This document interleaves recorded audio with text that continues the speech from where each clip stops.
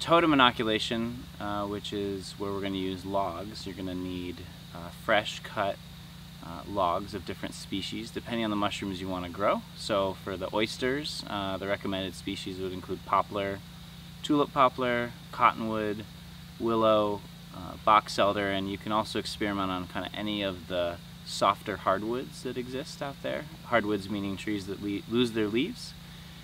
For lion's mane exclusively, uh, you'd want to grow that on either uh, American beech or uh, sugar maple.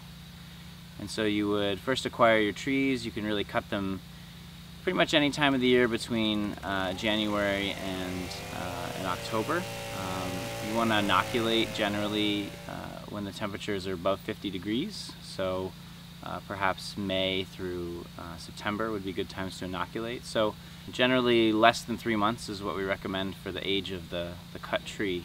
And that's because the, the wood is still fresh and there's not other fungus that have colonized and taken over the bark. So uh, well, we want to focus on are, our, fresh woods of those different species depending on the mushroom you want to grow. So unlike uh, a lot of indoor cultivation or growing mushrooms on straw or coffee grounds, other things, uh, wood is essentially sterile in its natural state. So as long as the log is fresh, the bark, uh, if it's intact, is going to protect the inside of the wood from competitive fungi. So we don't have to do any steaming or boiling or any other treatment. The wood itself is ready to go for mushrooms.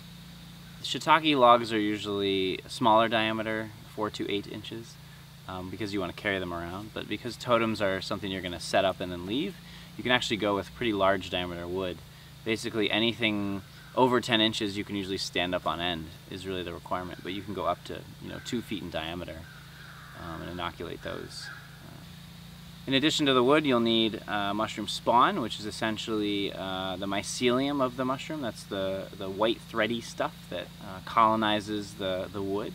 That can be purchased uh, from a spawn supplier much like um, seed can be grown you know purchased for vegetable production and uh, we have a list of those producers on our website at cornellmushrooms.org where you can acquire spawn.